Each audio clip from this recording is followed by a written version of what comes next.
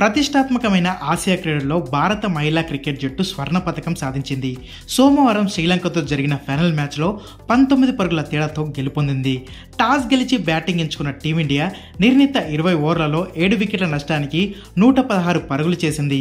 ఈ లక్ష్య ఛేదనలో శ్రీలంక ఇరవై ఓవర్లలో ఎనిమిది వికెట్ల నష్టానికి తొంభై ఏడు పరుగులకే పరిమితమైంది. ఇక భారత బ్యాటర్లలో స్మృతి మందన నలభై ఆరు పరుగులు జెమిమా రోడ్రిక్స్ నలభై రెండు పరుగులతో కీలక ఇన్నింగ్స్లు ఆడారు. बधाई देता हूँ और गोल्ड भी भारत की झोली में डाला है। और इतना ही कहूँगा, नारी शक्ति बंधन बिल पास हुआ तो 33 प्रतिशत आरक्षण संसद से लेकर विधानसभाओं में।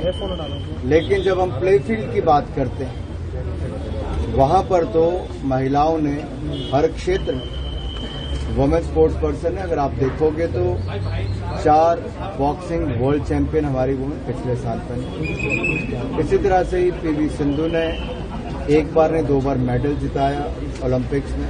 मीराबाई चानू ने आपको टोक्यो ओलंपिक्स में और उसके बाद फिर कॉमनवेल्थ गेम्स में। एक नहीं, अनेक ऐसे उदाहरण देखने को मिलेंगे। लेकिन क्योंकि क्रिकेट अभी शामिल हुआ है और महिला क्रिकेट टीम ने शानदार प्रदर्शन करते हुए भारत को जीत भी दिलाई, गोल्ड भी दिलाए बहुत बहुत बधाई।